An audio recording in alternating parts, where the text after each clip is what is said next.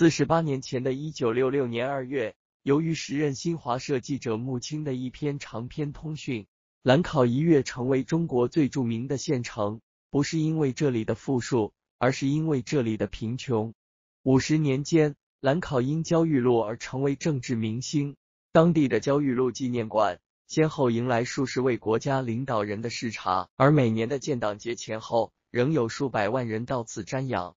但遗憾的是。五十年后，这座中国最著名的政治明星县城之一，却依然头顶着国家级贫困县的帽子，迟迟无法褪去。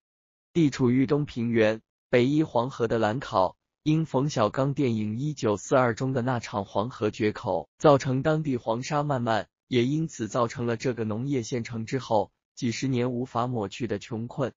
即便是现在步入兰考县城，四处看到的。仍不过是几条简单的街道、低矮的民居，处处显示着这座县城的破落。按照兰考官方公布的数据，二零一三年兰考县实现生产总值百九十三亿元。按照当地公布的全县人口八十三万计算，兰考县的人均 GDP 仅为二点三万元。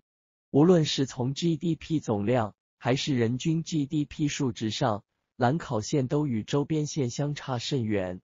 农业在很长的一段时期内依然是这个贫困县的多数家庭的主要收入来源。就在习近平前往兰考视察前，五月一日，兰考县与浙江省义乌市签订战略合作框架协议。根据该协议，义乌市将在加快转变经济发展方式、实施产业转移中，优先把兰考县作为企业转移承接地，以园中园、产业园的形式。引导和组织企业在兰考县投资兴业，同时义乌市还将提供优惠条件，支持兰考县特色产品、优势产品通过义乌的市场平台进行展示销售，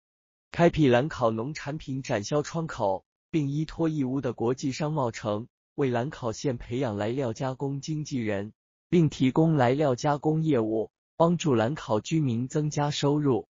兰考这座五十多年来的政治明星县城，正在被推向一个新的政治高度。但曾经多次错失发展机遇的兰考，此次能否将新的高度转化为经济推动力？一个诞生过焦裕禄精神的县城，为何在工业化的道路上屡遭挫折？在郑州的一位地产老板眼中，急功近利成为阻碍这座农业县城崛起的重要障碍。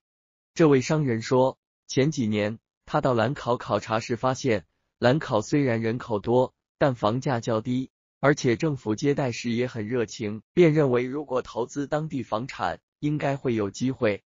但刚投资，甚至项目还没正式开工，麻烦便接踵而至。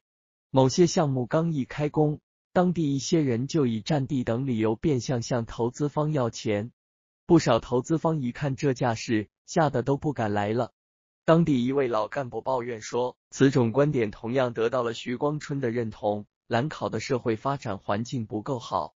服务型政府建设之后，服务意识不强，不作为、乱作为、慢作为不同程度的存在，致使外地企业不愿来，本地企业难成长。上世纪九十年代中期，全省工业十面红旗帮扶兰考的项目和企业，现在已基本销声匿迹。他说。随着周边县市的不断崛起，包括兰考县长周成良在内的一些地方官员，在开始意识到招商开放的重要性后，纷纷加大了招商的力度。